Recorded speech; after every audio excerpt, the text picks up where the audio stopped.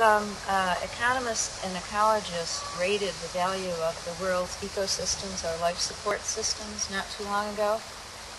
Of the terrestrial or land-based systems, freshwater wetlands came out number one, the most valuable of the land-based systems. And it's not only because they provide habitat for fish, ducks, you know, so many different animals and plants, it's also because there's an important water cleansing effect in wetlands. And this works two ways. With beaver dams, for example, if you stand on a dam, the water coming over the dam is always cleaner than the water upstream because the dam acts as a filter. It takes out that dirt and silt that would otherwise go on down the stream.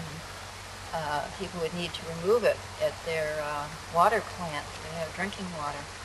That's an important function. A beaver dam can take out as much as 80 to 90 percent of the dirt or silt in the water. And cloudiness in the water has been rated as the most important limiting factor for aquatic life. So wetlands clean the water in two ways. One way is by removing the dirt and the other sediments from the water. The other way is by breaking down toxics like pesticides that are in the water. This occurs with microorganisms in the wetland. And for example, the pesticide atrazine that's been involved in the frog deformities is broken down within beaver wetlands. So that's quite a benefit.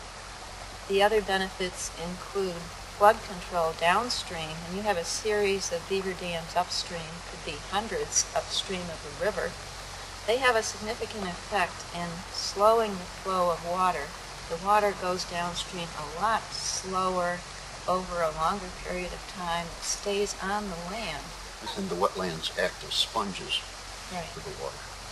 The wetlands do hold the water, and this is very valuable in times of drought and also to alleviate extreme flooding downstream.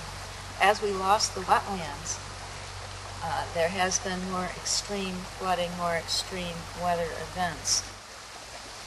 A lot of our environmental problems, as far as water is concerned, the quantity and the quality of water could be resolved by coexisting with beavers.